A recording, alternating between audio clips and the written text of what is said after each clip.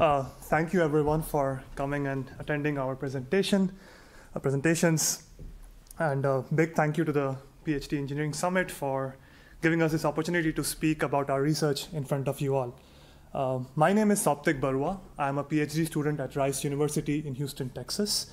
Um, I've also worked with the MD Anderson Cancer Center and the University of Michigan during my PhD. Today, I'm going to talk about how I have tried to show that capturing different kinds of structure in cancer imaging data can help us to predict for clinical outcomes of interest. And this can then assist clinicians or doctors to design more effective, more optimal, personalized treatments. Okay? So, quick show of hands. Who knows who this person is? Anyone? Okay, so this is Dr. Jim Allison, who won the Nobel Prize this year in medicine for his work, pioneering work in immunotherapy. And it so happens that Dr. Allison works across the street at MD Anderson in Houston as well. Um, slightly harder one. Who knows who this person is? Yeah. Yeah. So this is former U.S. President uh, Jimmy Carter, who actually is one of the most high-profile names to have had successful treatment using immunotherapy. Um, and so what we are seeing in the last few years is immunotherapy is this treatment uh, regimen that activates the body's own immune system to fight cancer better. And this has been shown to be very promising in very advanced cancers as well. But for every success story, like President Carter or this girl Emily over here, we have many other patients who do not uh, benefit from immunotherapy. Um, so the challenge, the need of the hour is to figure out why immunotherapy does not work for every, uh, every patient and what should be the optimal immunotherapy regimen for these different patients. Thus, there is a need for personalized immunotherapy. Okay, moving gears to another kind of treatment that has been there for decades is radiation treatments. Especially, it's used a lot in head and neck cancers. Uh, however, even for these patients, they develop long-term radiation side effects like dry mouth or xerostomia or bone death uh, or osteoradionecrosis. So can we also figure out which patients are at a greater risk of developing these radiation-induced injuries much in advance so that we can take corrective action? And so we also think there is a need for personalized radiotherapy treatments. So in order to facilitate our goal of personalized treatment, I have uh, approached this from a data-driven uh, side of things, a very conventional data-driven model here, but specifically using image data is what I use. And we build a model that captures specific kinds of structure that's present in these imaging data that helps us, excuse me, to predict for a clinical outcome of interest. And thus, this can help clinicians design treatments better. Okay. Um, I'm going to talk about two specific image data sets that I've worked with. The one on the right is more common. It's uh, CT scans from radiology. And the one on the left is a newer sort of imaging modality for tissues called multiplexed immunofluorescence imaging. Um, for the rest of my talk, I'm going to focus mostly on the first part here, which is I extract spatial structure in these tissue images that captures the spatial distributions of cancer cells and immune cells. And this uh, we're going to show can help clinicians to determine better immunotherapy treatments. I'm going to briefly give an overview of my work in extracting temporal structure in CT scans acquired over time that can help us predict in advance uh, about radiation injuries uh, in patients. Okay, so let's get to it. Um, in this part, what I'm going to talk about is how we take as input a multiplexed immunofluorescent image like this we extract the spatial structure in terms of the distributions of the different kinds of cells, and we show that this can actually help us in understanding or being able to estimate which patients will survive longer uh, in their immune contexture, but also figuring out which patients' tumors are at a greater risk of escalating to a higher grade ones. So these are the kind of uh, questions that I have answered in my thesis work. Okay, what's multiplex immunofluorescence imaging? A quick overview. Um, so what you see here is a tumor that has been biopsied from a patient. You slice up the tumor, uh, and then what you do is you stain it with fluorophores.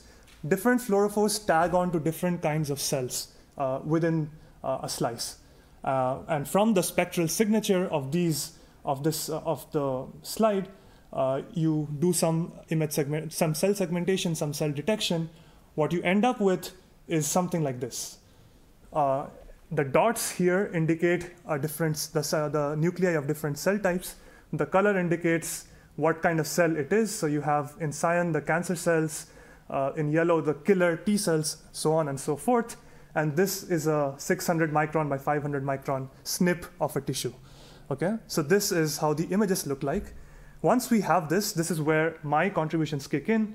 Uh, given that we know the spatial locations and the type of cells that we have, we want to quantify uh, the distributions of different cell types, specifically how infiltrating the immune cells are into the cancer cells. Here I'm showing three specific patients, okay? So as you can see, these three patients have very different levels of infiltration. I'm just showing two of the eight cells that you saw here. I'm just showing only two cells, two types of cells here. The green ones are the cancer cells, and the red ones are the immune cells, okay? And we want to be able to quantify the infiltration levels of uh, the immune cells in these three patients. Okay.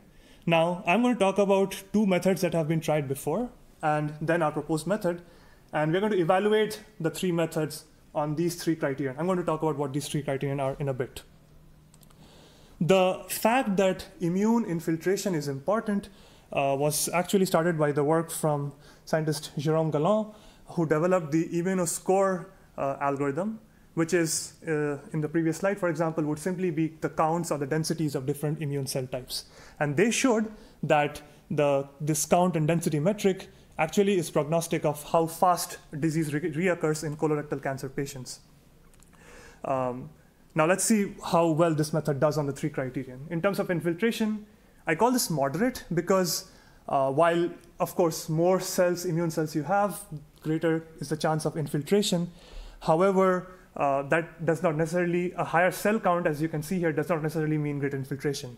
Here, the red cells are roughly same in number, but you can clearly see a difference in the infiltration levels, correct? Um, counts, the counts method does not in, uh, uh, know about the proximities of the different cells. It just counts the overall number of cells, but does not take into account how far or close the different cell types are from each other, uh, which we think is important. And spatial resolution, I'm saying, is how much can you disturb the configuration of cells but still get the same answer, right? So for counts, you can like move around the green cells and the red cells, but the count remains the same. So the resolution of this method is only on the whole slide level. Make sense? The next big advance came in 2015 by the work of Mark O'Malley, who uh, used ideas from ecology called the Morisita-Horn index to quantify infiltration. What you do here is you just split up your whole slide into smaller grids and measure the mixing levels of different cells within these smaller grids. That's why the one on the left here, you can see that none of the smaller grids have both a blue and a green cell, and so the index is zero. Whereas here, there is greater mixing, and the more the mixing is, the higher the value of this metric. Okay. Um, let's see how this how well this method does. Infiltration, yes, it does uh, very well do a good job of measuring how mixed the cells are. However, in terms of spatial proximities, you can move around any green cell within this square, and that would not affect the result. So it does not take into account spatial proximities at distances that are smaller than the square grid uh, distances, okay? And thus, the spatial resolution is also in the order of the square dimensions that have been chosen here. Now, what I will try to convince you over the next few minutes is that uh, we have come up with a method that hopefully improves upon the existing methods in all these three criterion, which we call as the spatial G function. Okay? Um, the spatial G function has its roots in uh, also in ecology, and what we saw that this function is used to model predator and prey interactions in ecology. So predators like lions with prey like deer, rabbits, or even predators like deers with prey like uh, grass, for example. And so we thought, hey, why not think of cancer cells as the prey and immune cells as the predators and uh, reformulate, restructure those ideas from ecology for the uh, immunotherapy uh, science of, uh, side of things. Okay. Uh, just to give you a taste of basically what this algorithm is about, think in terms of these blue cells. What fractions of these blue cells have a red cell around them at different distances are? Okay. Uh, so you can see uh, for this one, what will happen is the fractions will increase in steps of one third as you go at along these distances. Whereas for this situation here, uh, all these three blue cells will see a red cell only if you go to 20 microns. And so this curve will jump from zero to one like this. And this sort of gives you a taste, right? Because on the left and the right, you both have the same number of uh, cancer cells, the same number of immune cells. However, the spatial infiltration pattern is pretty different. And this sort of curve somehow captures the signature of infiltration in these two cases. And uh, this is what the G function is. Uh, very simply put, it is similar to the nearest neighbor distribution function, where we try to figure out what fraction of cells of type I, which could be the blue cells here, has a cell of type yellow around it. Okay, uh, this is a very basic structure. There are more mathematical details that I'm not going to go into for the sake of time, where we correct for issues like boundary effects and edge criterion. So to very simply put, what fractions of blue cells have a yellow cell at a distance r around it? Uh, okay, now let's get back to the three patient scenario. What I've shown here is uh, actually for uh, one of our data sets that we have, we had 132 patients, and we plot the G functions for all those 132 patients. And I specifically highlighted these three patients here. The green one is the patient who had the highest infiltration, the red one is the one with medium, and the yellow one is the one with the low infiltration. So what you can see here are two things. First, the G function seems to respect what you see visually in terms of infiltration levels. So the green one is the curve that rises very fast, whereas the yellow one is the one that rises very slow. Okay, and this also gives the second thing is it also gives you an idea of now doctors can start thinking of patients in terms of these signatures. So this could be the immune fingerprint of different patients. And now doctors can talk in terms of, hey, this patient is a patient like this versus a patient like this. Okay, so this is what we envisage can happen in the future. One more cool thing about this, uh, the G function approach is, uh, as one of the questions came in a little while back, that sometimes you want to not only interrogate cancer cell and a specific kind of immune cell, but you also want to interrogate how well an immune cell behaves in the presence of a different kind of immune cell. So for example, in lung cancer, we saw that the killer T cells effect is actually mitigated by the presence of the suppressive T regulatory cells. And that's something we can also uh, capture using the G function. Uh, okay, let's go to some results. Um, the first thing we did was uh, we looked at data from pancreatic cancer patients who were uh, interrogated at MD Anderson Cancer Center in Houston. Um, this has a very poor survival outcome typically.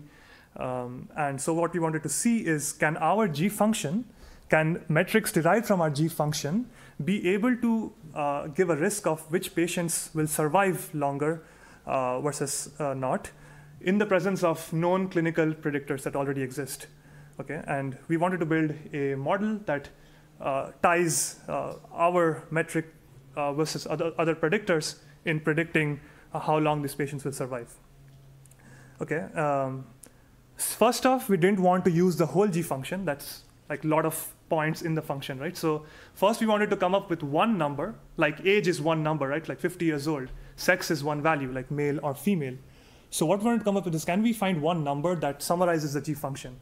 And the most natural way to do it was just to compute the area under the curve. Uh, in this case, we looked at the area from 0 to 20 microns because that's what our clinical collaborators felt was an interesting distance to look at in terms of cell-to-cell contact that distance indicates. And so we computed the area under the curve of these G functions for the patients.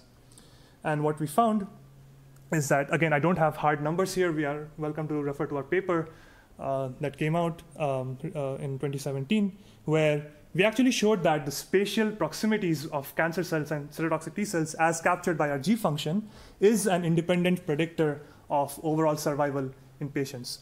Uh, the ones who have a greater amount of cytotoxic T cell infiltration tended to do uh, survive much longer compared to, uh, unfortunately, the ones who had lower cytotoxic T cell infiltration. So this was an interesting finding uh, for us in terms of using our spatial uh, metric. Uh, and one uh, cool thing that recently came up is I went back to search our paper recently, and uh, now because on this paper we worked with Dr. Allison, it now has this cool uh, label beside it. Well, at least in terms of Euclidean distance, I feel this is the closest I will come to a Nobel Prize. So at least that's a nice thing that came up. Yeah. Um, and there are issues with the G function. uh, primarily the need to set this distance r, the fact that the shape of the g function is not incorporated, and what happens when the different spatial interactions are actually very correlated. Okay, this was not the case in the previous one, but it became apparent in our next uh, set of analysis. So imagine if you were to interact the interactions between these two cell types. However, this one is a subset of this, and so these interactions tend to be have very similar g functions. Can we do better than the one AUC metric? Can we capture the shape of the curve efficiently? And also, can we explain multiple correlated features? And this was our second contribution is we used something called as the MFPCA algorithm to the people who have uh, worked with data science in the audience. PCA is the familiar principal component analysis. Functional PCA is PCA that's geared for structured functional data, like the G function is a function of distance.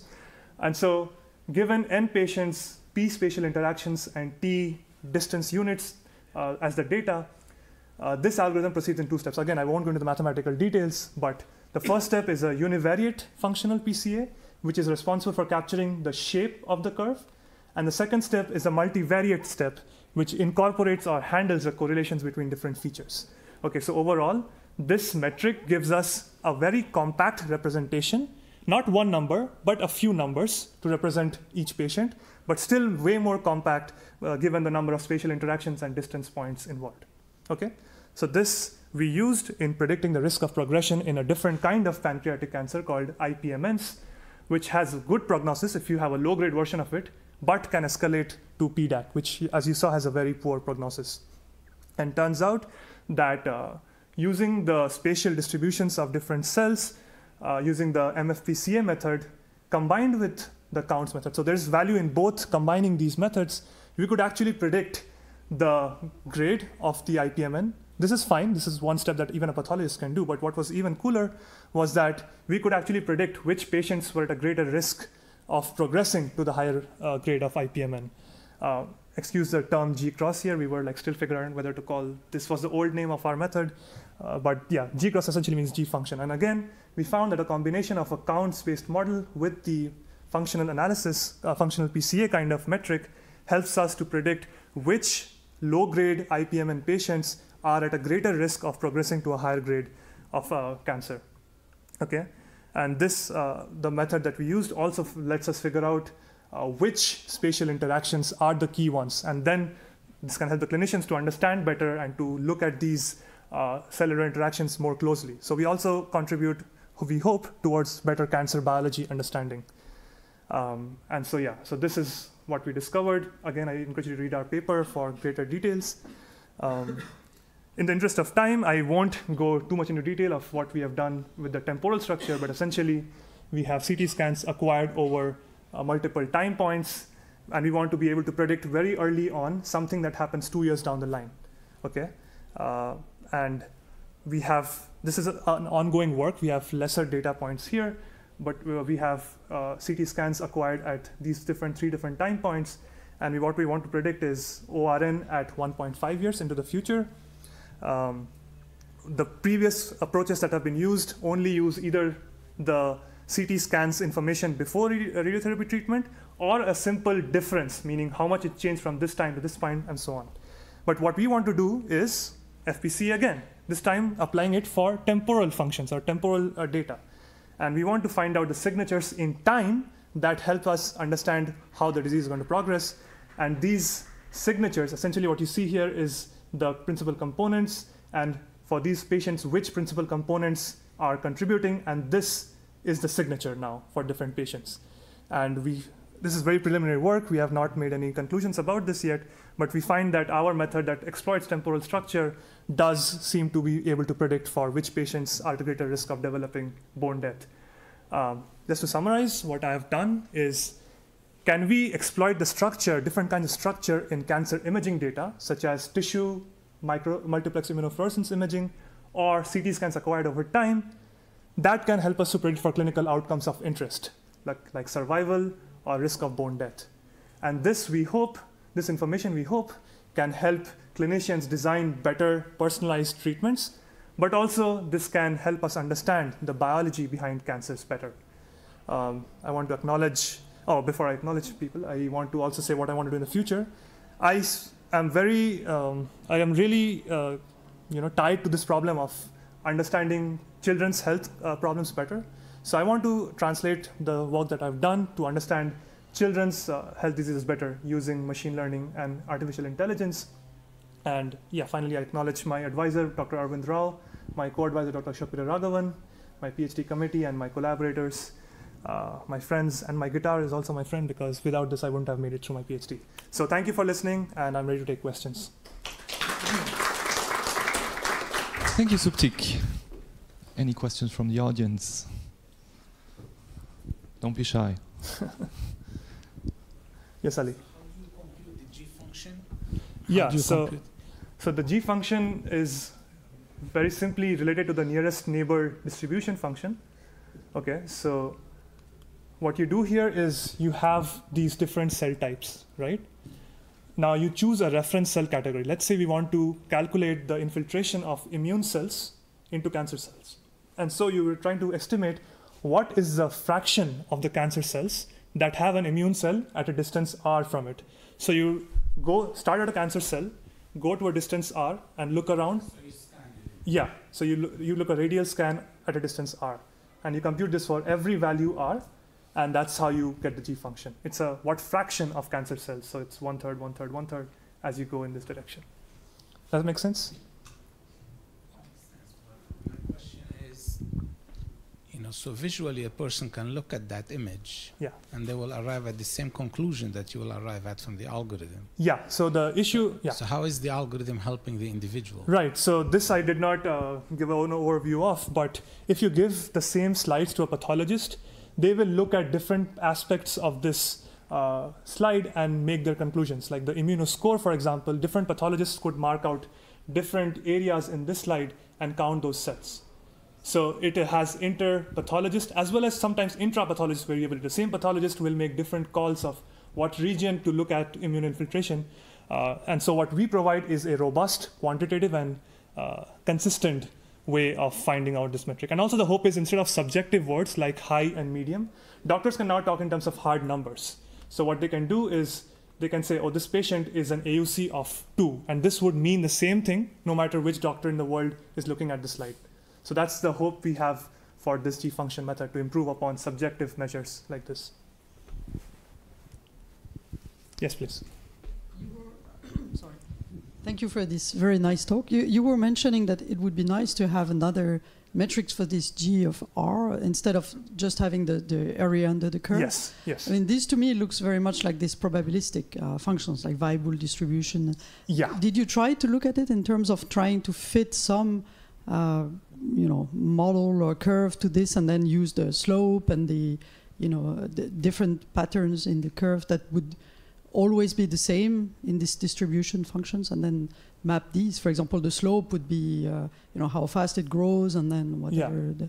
so yeah so there are there could be multiple things that we could do and this multivariate fpc is one step in that direction so like i said the first part the the first step of the fpc algorithm captures the shape Okay, so it's instead of saying that okay, we know that this curve will always increase, right? It's a probability distribution; it will always increase.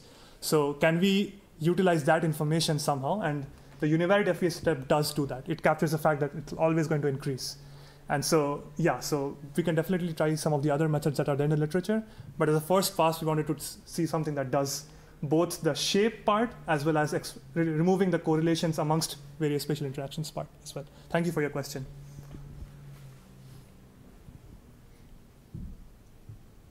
We have time for one more. Thanks again. Um, uh, maybe a naive question is: yeah. Would it be worth going to 3D if you have multiple slices and look at distribution in 3D? Would you have even more information, or you think it's not needed? So for the remaining three months of my PhD, I'm actually working on a 3D uh, problem where essentially what we do is, like you rightly said, we can get more information if instead of just using uh, just this one slice, we actually now have data from multiple slices, and we are now trying to integrate the spatial distributions across these different slices. So that's the 3D angle we're going for. So yes, we are looking at 3D as well. Thank you so much for Great. your question. Thanks. Yeah. Thank you, Souptik. Thank Let's you. thank you once more for your talk.